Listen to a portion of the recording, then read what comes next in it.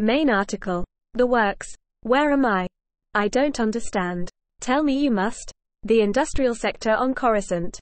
What is happening here? A rogue shuttle slipped through the security grid. We suspect Dooku was aboard.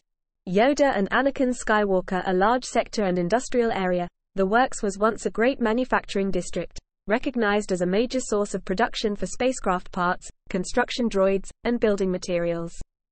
However, centuries prior to the Clone Wars, increasingly high cost on Coruscant prompted most manufacturers to shift their operations to off-planet facilities.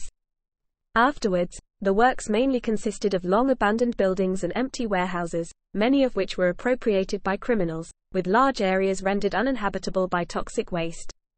Because of this, a derelict hangar in the neglected industrial zone was the site of clandestine meetings between Darth Sidious and Darth Tyrannus during the Clone Wars.